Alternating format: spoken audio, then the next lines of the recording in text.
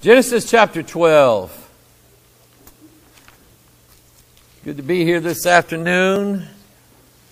Um, weather's setting in on me tonight. My bones are hurting all the way to the bones, down into the bones, inside the bones, around the bones, up and down the bones. So I figure if I'm going to hurt like this, I want a foot of snow out there. See? I know.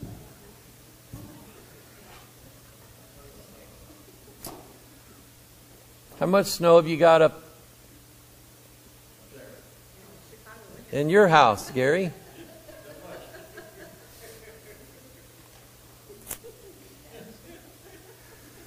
Yeah. Up where nobody lives. Genesis 12. Genesis 12. The number 12, of course, is God's number for promise, keeping his promise, um, that his seed would be as the stars of heaven, which was very interesting because there was an episode of Ancient Aliens that showed up on my DVR where all of the who is that guy? Giorgio Tsoukalos that has the stupid looking hair. That uh, they're aliens. It's aliens. That they had him on there talking about it, and I'm going, you know nothing about this. No, he doesn't. It, he's got a degree in hair. Okay, that's all he's got. But uh, you don't have to have a degree in something to believe in UFOs. And the, the, here's the thing that I was watching one episode this week of, of Ancient Aliens, and they were the History Channel was at um, the Alien Con, Alien Convention in 2018 uh, I guess maybe in New Jersey, somewhere around in there. And they had um, people that I've recognized from the research that I've done. One lady in particular is, she is a New Age witch to the core. And um, I bought one of her videos where she's talking about the ETs and their, how they're coming. And basically nine tenths of the video was about how we're going to welcome them and how they're going to help us and how to make a contact with them and how to get the good out of them that we're supposed to get. And they're going to bring us a new world and all of this stuff. She was on the stage. And uh, Linda Moulton Howe, who is a TV reporter that kind of fell backwards into the whole UFO thing back years ago in the 70s, but she investigates a lot, and I, I like some of the things that she investigates. I like some of the things that she gets her hands on.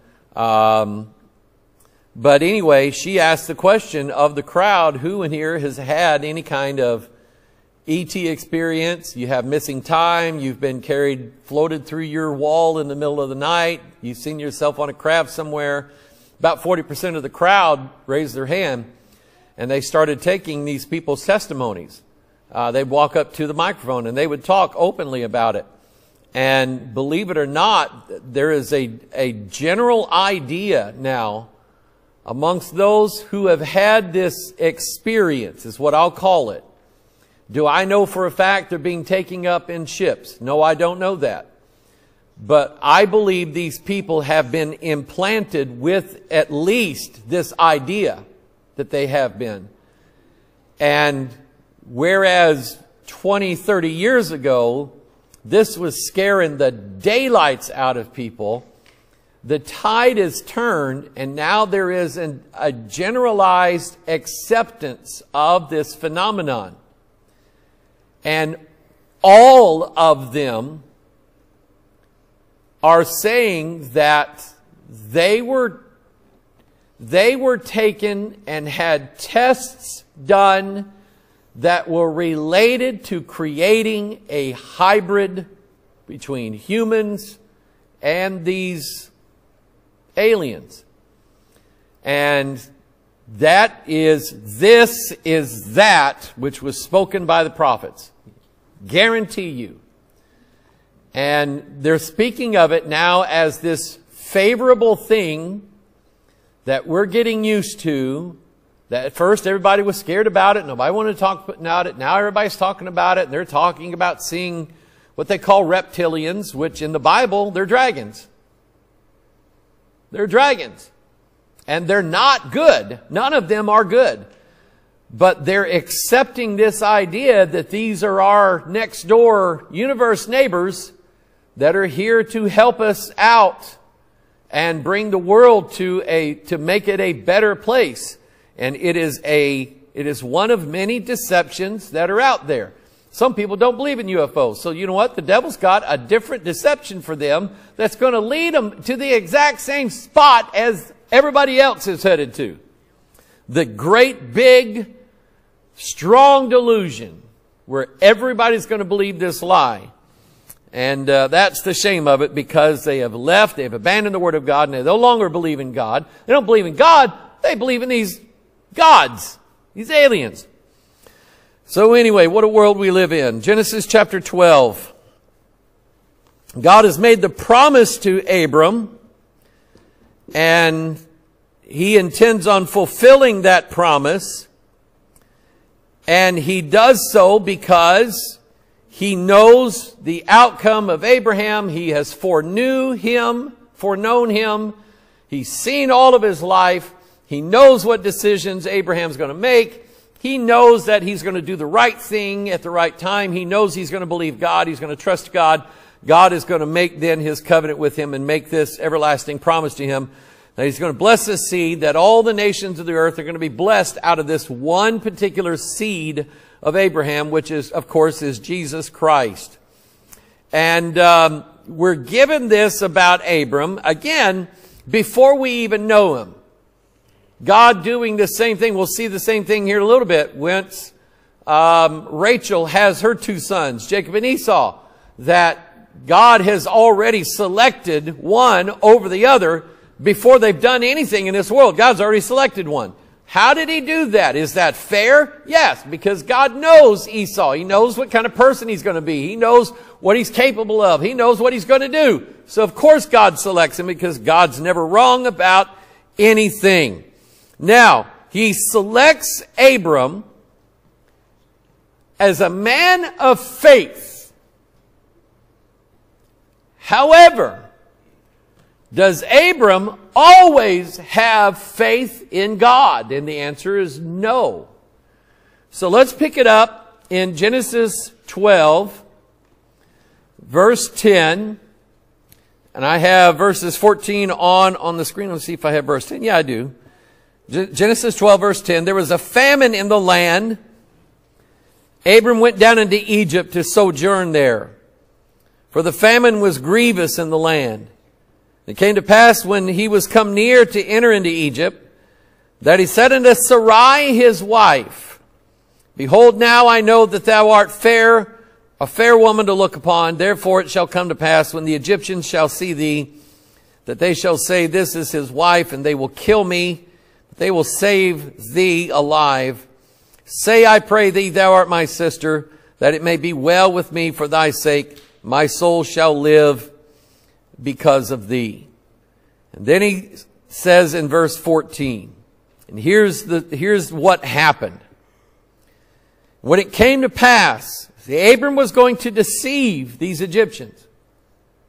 And there was a reason why. And, and ask the question tonight, why do people lie? Why do they bear false witness? Why do they invent things that are not true? Why do we tell stories that are just not true? And uh, maybe we'll talk about that here in a little bit. Let's go to the Lord in prayer and ask His blessings for tonight. Uh, you pray for me. I just do not feel good this afternoon. I guess it's the weather. It feels like the weather to me. So Father, we ask your blessings tonight on your word. I pray, dear God, through my weakness, you would be strong. Father, you would bless your people tonight, those who have come to join with us, those who join with us online, those who will watch this later. I pray, dear God, it would be a blessing. Father, the Watchman broadcast that's being released today, Father, it would be a blessing as well. The messages that are preached here, the things, Father, that you've given us to say, we thank you, God, for giving us of those things and opening your hand wide to us and feeding us and feeding us very well. Feeding us, dear God, with, so that we have overflow and we're able to give out such Father, as what maybe others have need of. And Father, help us to continue to be a blessing. That's all I ever ask for, God. I don't want this world's money. I don't want the world's riches. I don't want anything like that. Lord, what I want is to be used by you as your servant uh, to bless somebody else in their life. You've used people, dear God, that in, you brought them into my life at different ages, different stages, and they've all blessed me. Lord, I want to be that back to somebody, maybe a younger generation, maybe a young man, a young lady, maybe a child, maybe, Father, someone who's looking to get into the ministry. Lord, just help us be a blessing tonight. Bless your word, we pray in Jesus' name. And all of God's people said, Amen. So in verse 14, uh, let me ask you this question. Why, give me the various reasons why people will lie about something. In this case here, it seems, why did he have to do this? Why couldn't he just tell people, hey, mind your own business? It's my family, you got yours, mind your own business. But he had already invented a lie that he wanted Sarai and himself to tell everybody when they asked him this particular question. So why do you think Abram lied in this case? Why else do people tell lies and withhold the truth from other people? Give me reasons. Fear of getting in trouble. Okay. to cover up a sin. To do what, Gary? Make themselves look better. Like Joe Biden's law degree. Right? He was magna cum, summa cum laude. No, it was, I was the head of the class. I was number one in the whole class. And you find out that's not true. At all. Why else do people lie? Protect. Explain that.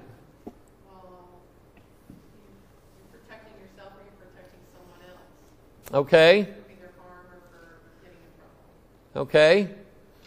So the wife says to the husband, Do you like this dress? Does this make me look fat? No, it does not. Two questions in one. Yes or no? Yes, Rose. You mad at someone? Yeah, okay. You lie about somebody else to make something up about them, to so everybody thinks ill of them because you don't like them and you don't want anybody else to like them. Je- jealousy. Okay? Sometimes to take the blame on somebody else for the. Okay, that does happen.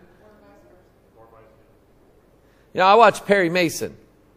And I guess maybe a different time in Americans' culture but everybody in Perry Mason who was guilty always screamed it out at the end uh, of the program, I did it! I killed him! In front of everybody and the judge. And I'm going, that don't happen nowadays. No, uh-uh. No one tells that story. Okay? So it's a, to me, it's a little unbelievable. But they do it. Every one of them do it. I did it. I'm glad I did it. Okay? Why didn't you say that at the beginning of the show? Would have been a five minute show. Anybody else? Okay, so why was Abram lying about this particular thing? I, in Genesis 12, 14, 14, it came to pass that when Abram was coming to Egypt, the Egyptians beheld the woman that she was very fair.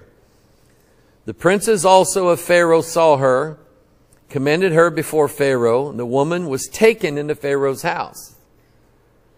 And he entreated Abraham, Abram well for her sake, And he had sheep and oxen and he asses and men servants and maid servants and she asses and camels and a new bass boat. So now he's thinking, hmm, do I want to keep the bass boat?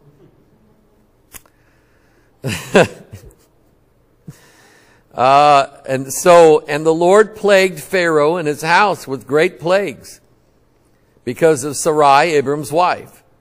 And Pharaoh called Abram and said, What is this that thou hast done unto me? Why didst thou not tell me that she was thy wife?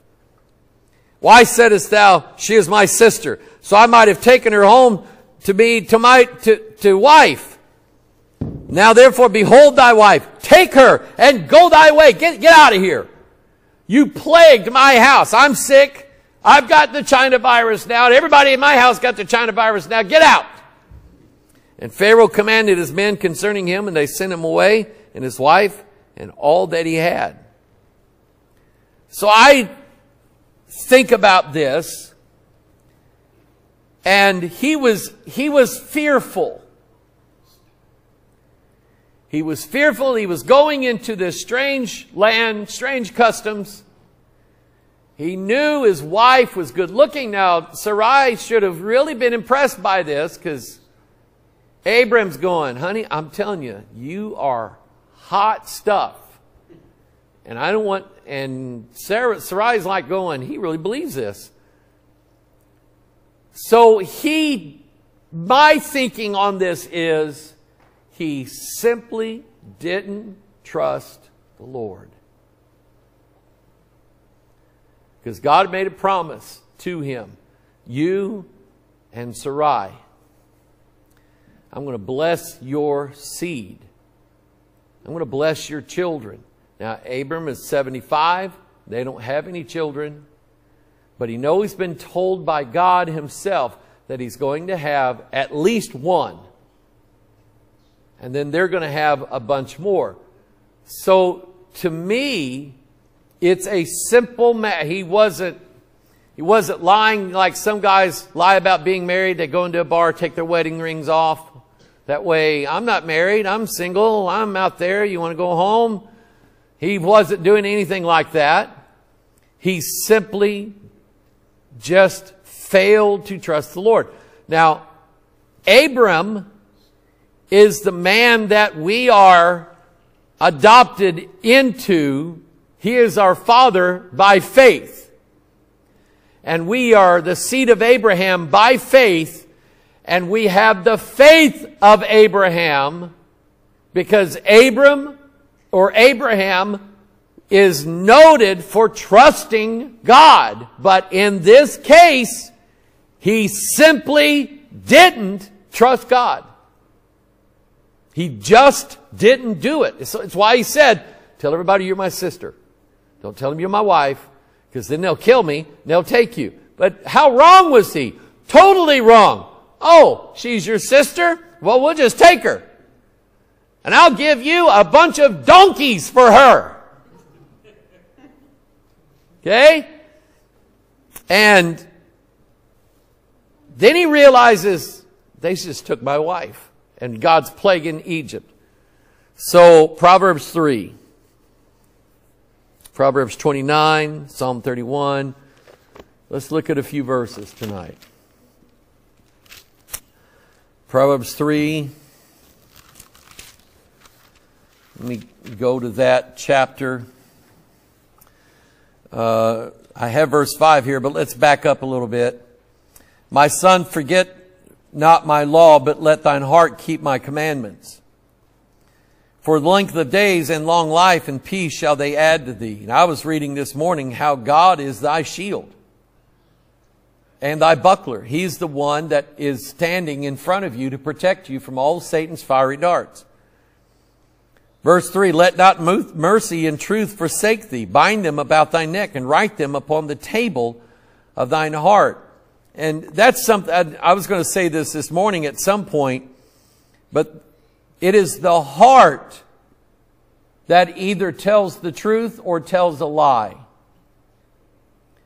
If you're going to lie to somebody, You're going to lie to them out of the deceitfulness of your own heart. The Bible says the heart of man is deceitful above all things. Who can know it? Desperately wicked. Or, if you have the truth written in your inward parts, you're not going to lie. It, whatever you say is going to be truth. It's going to come out of you because it's in, it's what's in your heart. Remember, uh, when I was trying to understand why people believe certain false doctrines, and it puzzled me, and I asked God, God, what causes people who've read the same Bible I've read, to obviously fall into false doctrines, false conceptions, false ideas. How is it they do that? Is it their mind? Is it something wrong with their brain? Their brain goes stupid or what? No. Belief, if belief is in your brain, somebody can write it into your brain, somebody can write it out of your brain. But if it's in your heart, there ain't a man in the world can take that out. It's in your heart. You know it. Even if you can't prove to the world, you know it's the truth. Okay? I can, somebody might try to set me up in a debate over the King James. I may not be the best debating guy in the world and may actually lose the debate, but I know in my heart what I believe about my Bible. And whether I can convince you of it, I don't know. I just know what I know and it's in my heart and you're not going to talk me out of it. So I watch James White in his little bow tie. He wears one of them stupid bow ties every time. I watch him. The guy's arrogant. I don't like him. And I've heard his arguments and I don't believe a word the man says. But I can tell you when it comes to debates he's done, in my opinion, he's beat most King James guys hand over fist in debates because he's better at it intellectually. But I know the guys who believe the King James, it didn't faze them one bit. It didn't faze me one bit either that James White won the debate. I still believe the King James is the Word of God. That's where that is. Trust in the Lord with all thine heart. Uh, verse, Proverbs 3 verse 5. Lean not to thine own understanding. In all thy ways acknowledge him, and he shall direct thy paths. We know that later on, when it comes time for Abraham to offer Isaac, he does so without any question. Because he believes it in his heart now that God made him a promise that through Isaac, thy seed is going to be called, and he believes, the Bible tells us this, he believes that even if he kills Isaac, God's going to raise him right back to life again, and he's going to live and have children. He, that's, and that's what he believes in his heart. And you cannot talk him out of it. He's going to go do what God told him to do, and that is offer. So to me, that, that's the difference right there. Trusting God with just your head is not enough. You can have a head knowledge of what the Bible says. But when it's been tried and tested and you have learned it in your heart, the, the gates of hell cannot talk you out of it after that. Proverbs 29. This is Abram. The fear of, the fear of man bringeth a snare. He was afraid that Pharaoh was going to steal his wife. Uh, excuse me, Abram. God gave you this woman. God swore that you and her are going to have a child. So do you think that anybody's going to steal your wife now? He did. Which is, which is what, so maybe this what we're reading in Genesis 12 is one of those things that God did to us. He turned the knowledge that we have from a head knowledge to a heart knowledge.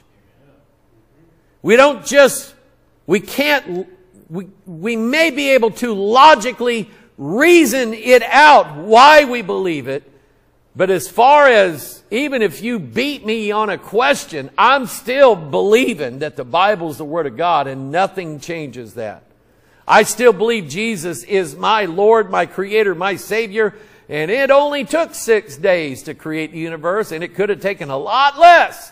And it was only 6,000 years ago, and I don't care how many,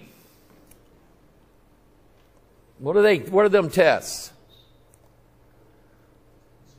Not COVID-19 tests. Carbon 42 test.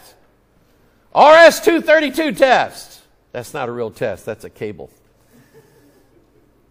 All of those tests, well, that proves that this rock here is 12.4 billion years. I don't care. 6,000 years old, tops. Okay? The fear of man bringeth a snare, but whoso putteth his trust in the Lord shall be safe. Abram learned this, that he didn't have to lie. I've had situations where God has brought me, and I've, some I've told about, where God has brought me to places where I realize I don't have to lie. I trust the Lord, and I'm going to tell the truth. If I have to, I will, and I'm going to trust the Lord.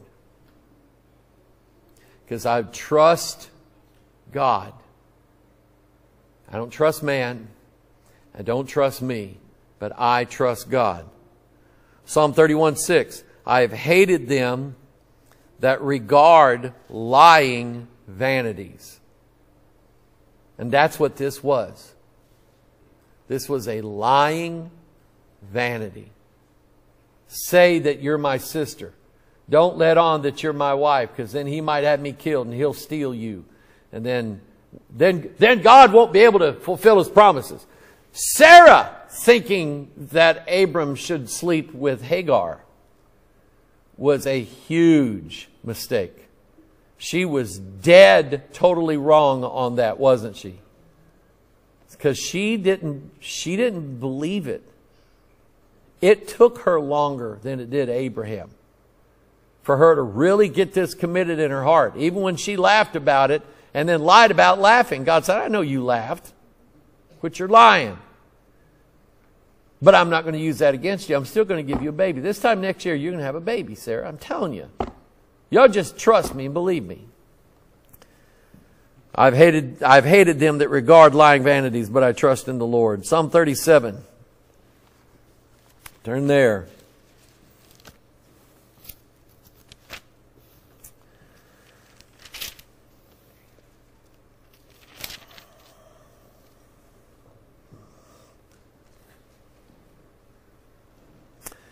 Psalm 37.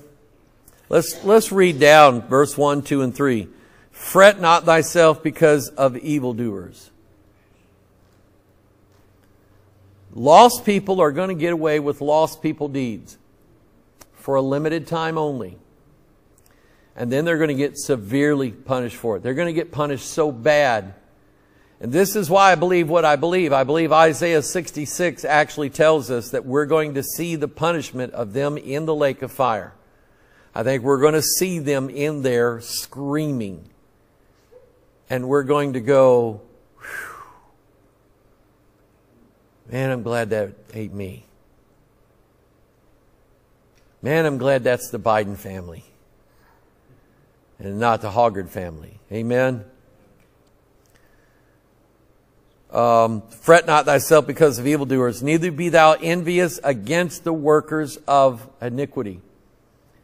Uh, young people, you might, you might start working with somebody who knows how to cheat on time cards, time sheets, who knows how to cheat on how they get paid. Don't listen to them. Don't be envious about the workers of iniquity. Because he said, verse 2, For they shall soon be cut down like the grass and wither as the green herb. Nobody gets away with it forever. Nobody does. So do right give an honest day's work for the pay that you're getting. Uh, some, somebody told me this. They learned a trade and they said they worked in a non-union shop to learn the work ethic, that it, you actually had to work the hours to get paid the hours. Because when they got to a union shop, it wasn't like that, and they found that out very quickly. And I did too. As a young man, watching the Ameren, that back then it was Union Electric guys, pull up to a job and sleep two hours in their truck, then get out, hook the house up to the electric, electrical grid, and put the, uh, the meter in, get back in the truck, take another hour nap, and then drive off. And in my mind, I'm going, those guys have been here four hours. I've been here four hours, but I've been working four hours. And I got paid at least $20 an hour less than they did. Now, it didn't make me envious of that job. Because to me, that just, that didn't look right. So don't follow that stuff. Then he said, trust in the Lord and do good. So shalt thou dwell in the land and verily thou shalt be fed. See all these wicked politicians. This is the only life they know.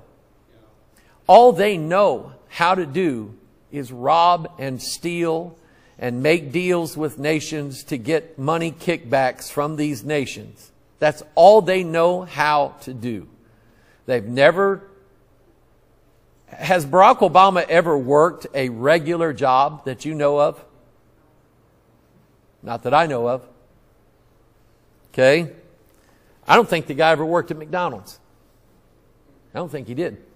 Huh? Sure he was. Sure he was. Um,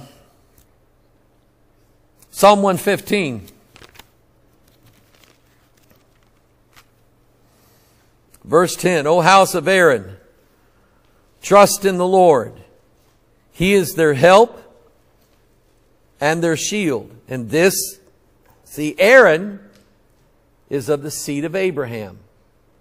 Aaron who's from Levi, who's from Jacob, who is from Isaac, who is from Abraham. O house of Aaron, trust in the Lord. He is their help and their shield. See, had, the, had Pharaoh made an advance to Abram's wife, God would have stood in between. God would have sent a great big 20 foot tall angel with a big flaming sword and said, Don't you even look at her. Don't even look at her. Okay? He is their help and their shield. Ye that fear the Lord, trust in the Lord. He is their help and their shield. He keeps saying it. He's their help and their shield. Trust in the Lord. And that was Abram's, that was his problem. Turn to Psalm 118. And when you turn there, I got a funny story. Who in here has ever seen The Day the Earth Stood Still, the 1950s version? Did you ever see that, Steve? Okay. It's, it, it's about 1950s movie where a saucer lands literally on the White House front lawn and this great big nine foot tall alien robot comes out first and then an actor by the name of Michael Rennie comes out and he plays an alien by the name of Klaatu who's there to tell the earth, listen, you've got nuclear weapons and we, we are from a galactic federation and we're going to kill all you guys because you can't have nuclear weapons. Unless you change something about yourselves and redeem yourselves, we're, we're going we're gonna get rid of you all. And I got tickled because this Michael Rennie, the guy that played the alien, he had a human form, looked like a normal guy.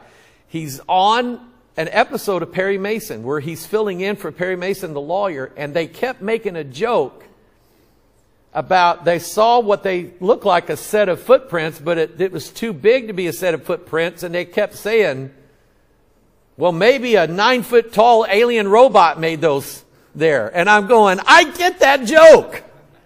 I get that. Oh well. Psalm 118 verse 6. The Lord is on my side. Hey, underline this, underline this passage. If you have a Bible that lets you, one of these electronic Bibles lets you put it in yellow, or underline it in your favorite reading Bible, but underline the Lord is on my side. I will not fear. Because we're going to need that.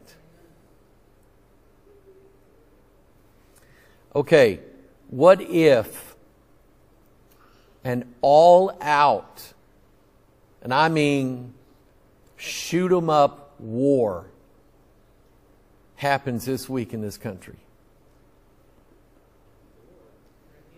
We're going to need the Lord. Because the only thing I will know how to do is pray and get in my Bible. The Lord is on my side. I will not fear. What can man do unto me? kill you. So the question is is that so bad now? Since when and killing us become the worst possible thing that could ever happen? We're going to heaven. The Lord taketh my part with them that help me. Therefore shall I, shall I see my desire upon them that hate me and you will. May the God of heaven bruise Satan under your feet. Shortly, verses like that come into mind. Verse 8, it is better to trust in the Lord than to put confidence in man. And in this case, Abram put confidence in his lies. And I can remember years ago God dealing with me about this. Mike, you have made lies your refuge. Mike, you're trying to hide behind the lies that you tell. And if you want to keep doing that, then I'm going to show you just how bad those lies can protect you. And that scared me. Mike, don't make lies your refuge. It is better to trust the Lord than to put confidence in man. It is better to trust in the Lord than to put confidence in princes. Don't make a deal with the devil, the prince of the power of the air. Don't make a deal with any of his agents either. Don't make a deal with, don't try to think that somebody high up in government can help you out. Okay? Now, I've asked the Lord, um, without telling you everything that I know, we want to go back to Kenya at some point. But it's been pretty dangerous over there for various reasons. And I've asked the Lord that the next time he sends us to Kenya, give us a friend that we know can help us over there. Give us a friend. Now, I didn't tell God what friend to get. I don't need the prime minister. I don't need the president to be on my side.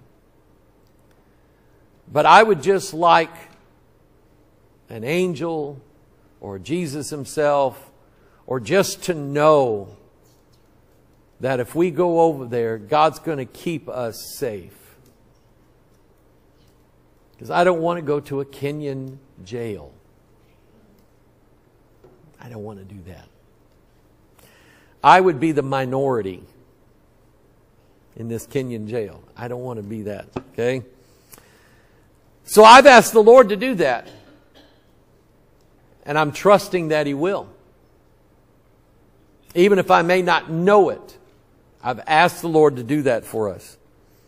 Verse 10 All nations compass me about, but in the name of the Lord will I destroy them. How would you like it? Every nation in the world gathered, gathered against you to kill you. They compass me about, yea, they, they compass me about, but in the name of the Lord I will destroy them. They compass me about like bees. They are quenched as the fire of thorns, for in the name of the Lord I will destroy them. Thou hast thrust sore at me, though I might fall. But the Lord helped me. The Lord is my strength and song, and is become my salvation. See, all of this, do I have any more? Yes, I do. Psalm 125. Let's just keep going. There's a reason why I tell you that if I wake up real early in the morning and these thoughts start trying to climb into my head, I get my Bible out and go to Psalm, start reading.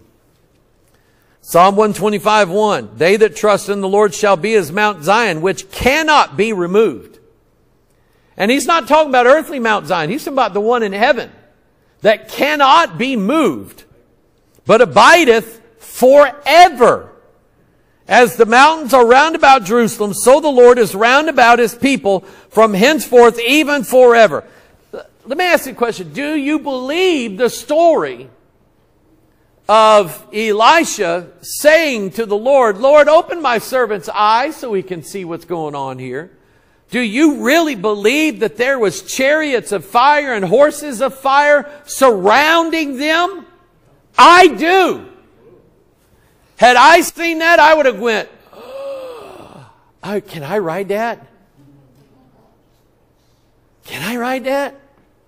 First video that Joel Friend from Reg Kelly's church ever did edited for me was called Which, Which Bible?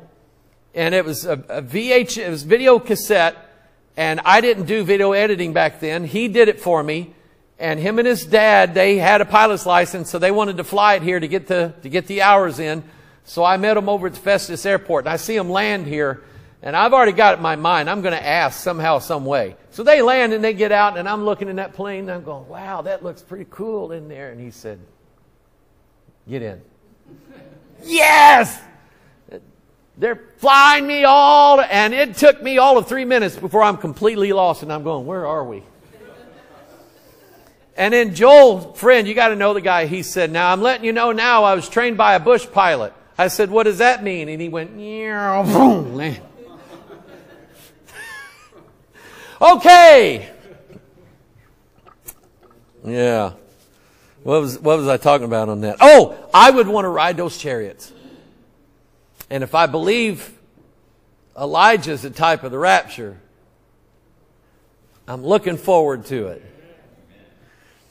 Chariots of fire, horses of fire. As the Lord is round about his people from henceforth even forever, for the rod of the wicked shall not rest upon the lot of the righteous, lest the righteous put forth their hands unto iniquity. See, even God knows that we can only be vexed so long. And then we can't take it anymore will give in. What did he say? For the righteous sake, the days are shortened. So, lest the righteous put forth their hands unto iniquity. Do good, O Lord, unto those that be good, and to them that are upright in their hearts. And for such as turn aside unto their crooked ways, the Lord shall lead them forth with the workers of iniquity, but peace shall be upon Israel. And folks, I'm just telling you, you got a chance to lie. But it's better to tell the truth. It really is. There's even scriptures, uh, and this one of those I was reading this morning. A man that will swear an oath even to his own hurt. God will bless that man.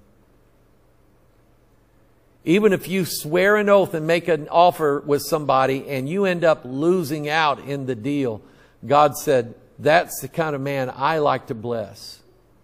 Because you swore an oath And you won't lie about it just because you're going to lose the case. You'll tell the truth. And you know what? God will honor that. Now I'm going to tell you a little story and then I'm going to let you go. This, and this is just my opinion. But years ago, a lot of you weren't here. We used to have a, a lagoon over here in this empty field over here. And it was an eyesore, but we didn't have the money to do anything about it. The city of Festus came down on us and said, You have to do something about that.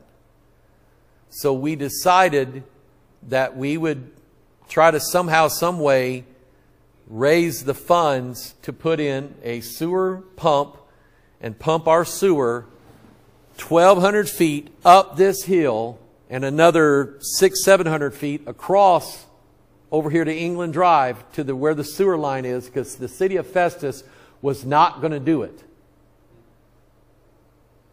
Even though they're supposed to be in charge of the sewer, right? So they were going to force us to put this in ourselves shell out all the money for it. And believe it or not, when we needed the first $10,000 installment, somebody sent us a $10,000 check. I'm not kidding you. I am not kidding you. Remember that, Rose? I couldn't, Rose called me and she said, I got a check here for $10,000. I said, Rose, don't cash that. That sounds like one of them loan scams that if you sign it and cash it, you're going to pay 28% interest. Come to find out, it was real.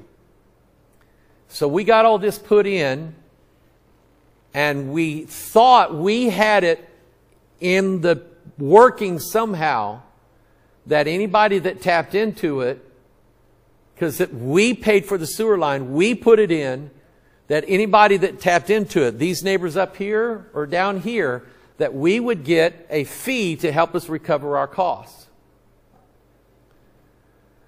We didn't know that that was only good for a year. And after that, the city of Festus became the true and rightful owner of all of that sewer line. So, so far we've had three different people tap into that line and we've gotten nothing out of it.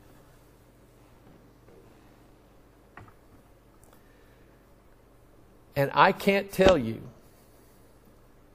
how much God has blessed us in the last, since we had that put in, I cannot begin to tell you how much God has blessed us. Far more than what anybody would have paid us to tap into that line. So instead of you throwing a fit over something, why don't you just give it to God and let God bless you better? Than you trying to scratch and crawl for yourself. Amen? Trust in the Lord. And I think Abram learned that that night. So when it comes time for him to lay his son on the altar, he does it. Father, bless your word tonight. Thank you for it. Thank you, dear God. This is, this is for us. This is our life. Father, I would like to say that on everything important in my life, I've always trusted you, but that's not been the case. I've tried to cover my own self up. I've tried to make myself look better. God, I've told lies. And Father, I've learned and am learning that telling the truth just is a far better way to go and to trust you doing it, knowing that you will always stand up and defend the righteous, even when the righteous has done wrong, if we will not lie. So, Father, teach us to trust you. And let our lives be an example to someone else's life about how to trust you and how you bless them that trust you. Bless your word tonight, we pray in Jesus' name. All God's people said, Amen. Amen.